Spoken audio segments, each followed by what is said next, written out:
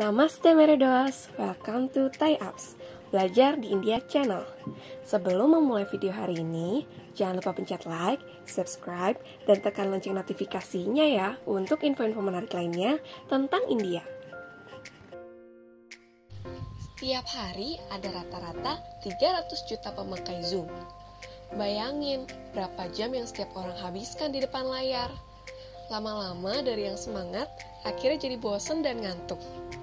Gimana caranya ya biar meeting online jadi menyenangkan?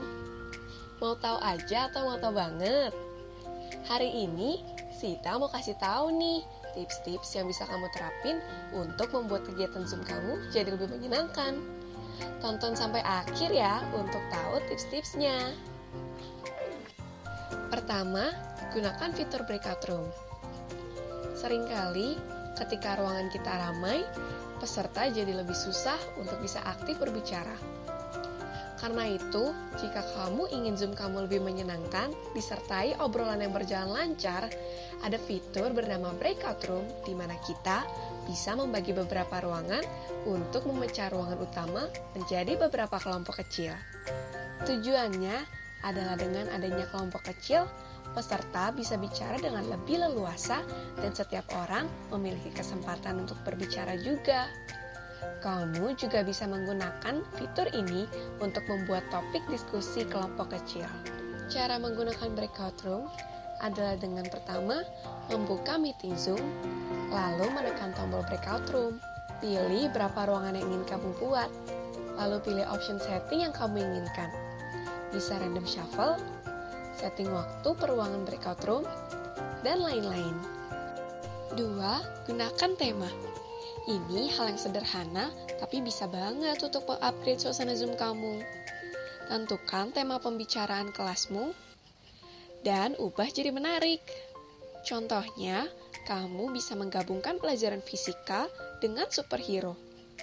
Kalau kelasnya diberi judul Belajar Gaya Gravitasi dari para superhero, kelasnya terdengar lebih menarik kan? Anak-anak juga jadi lebih semangat deh. 3. Virtual background dan kostum. Selain itu, kamu juga bisa memilih tema untuk virtual backgroundmu atau bahkan sampai pakaian yang kamu pakai biar nggak itu-itu aja. Bisa dari suasana tempat yang kamu ingin pergi, sekolah atau kantor kita, atau bahkan meme favoritmu. Contohnya, kalau kita membuat tema Halloween, kita bisa menggunakan virtual background yang seram dan kostum-kostum yang menarik, sehingga suasana menjadi lebih hidup dan kita juga bisa melihat kreativitas dari setiap peserta Zoom. 4. Main games Peserta mulai ngantuk. Kamu bisa mulai adakan games-games untuk menarik perhatian para peserta Zoom kembali. Ada banyak sekali game-game yang mudah dimainkan saat Zoom loh. Adakan games yang membuat peserta meeting bisa bergerak sejenak. Mereka jadi gak ngantuk deh.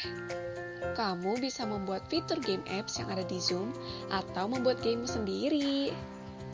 Pengen tahu games-games apa saja yang menyenangkan untuk dimainkan saat Zoom?